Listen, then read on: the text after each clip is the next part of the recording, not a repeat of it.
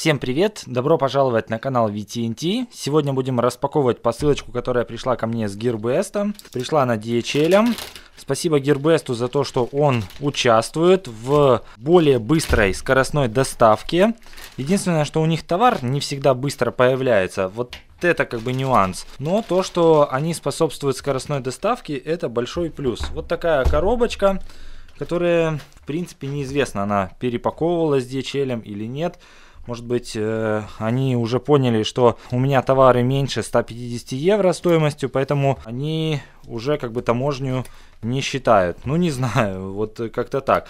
Вот, хотя обычно они перепаковывают и смотрят, какие товары ко мне пришли. Давайте будем смотреть на тот интересный гаджет, который нас встречает здесь. А нас встречает здесь смартфон Redmi 4A. Кстати, коробочка как у Redmi 4 Pro. Итак, коробочка у нас достаточно скромная, без каких-либо опознавательных знаков на передней части.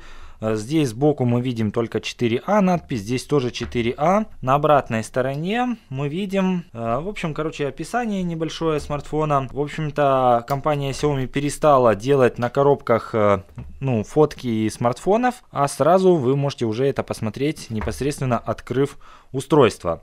В частности, это у нас Redmi 4A в цвете Rose Gold. Капец, какой он розовый, какой-то он немножко страшноватый. Ко мне, конечно, идет еще один а, Redmi 4A просто Gold. Я думаю, что мы его обязательно посмотрим, увидим, что он из себя представляет. Но Rose Gold, конечно, выглядит странновато немножечко. Итак, давайте будем смотреть по комплектации, все ли у нас как обычно или что-то не как обычно. И по адаптеру я могу сказать, что это у нас 5 вольт 1 ампер. Очень маленький по размеру адаптер. И он, кстати, его, видите, подключали. Хм.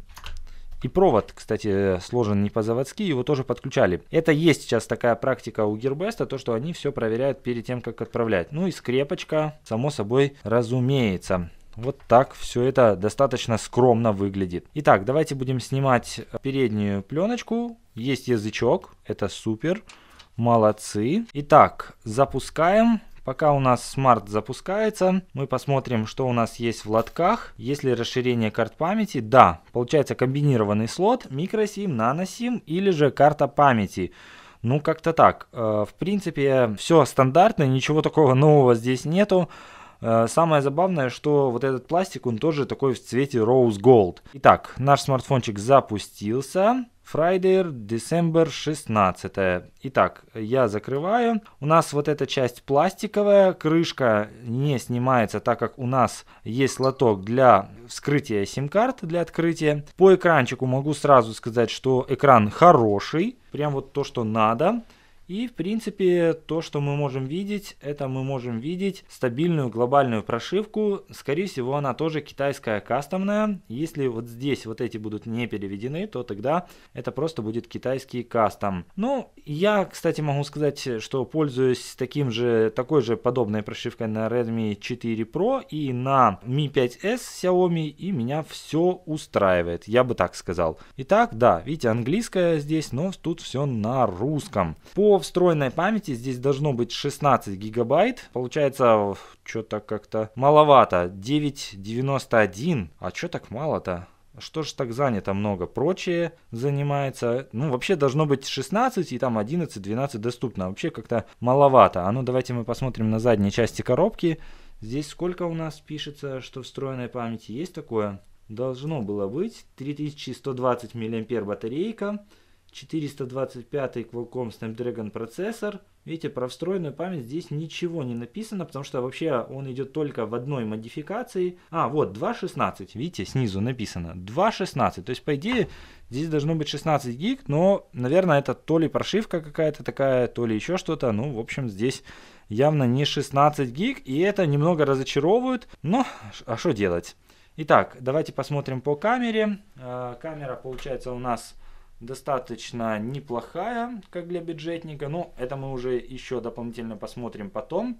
Фронтальная камера, ну, так себе. Да, на уровне Redmi 2. Еще, помните, давние такие Redmi 2. Может быть на, на уровне Redmi 3. Итак, первые впечатления неплохие. Благодаря тому, что смартфон стоит недорого, но вы знаете, как вариант, можно было бы еще даже посмотреть в сторону Redmi 3X. Есть еще такой аппарат, там 32 а, гига встроенной памяти, и это как бы определенное преимущество, потому что здесь вы видите 16, еще и какие-то такие явно неполные 16 гигов. Тот будет стоить дороже где-то долларов на там 15-20, но зато вы получите 32 гигабайта встроенной памяти, что вполне себе приемлемо. И там батарейка у Redmi 3X идет 4000 э, и, э, короче, 32 гига встроенной памяти и металлический корпус.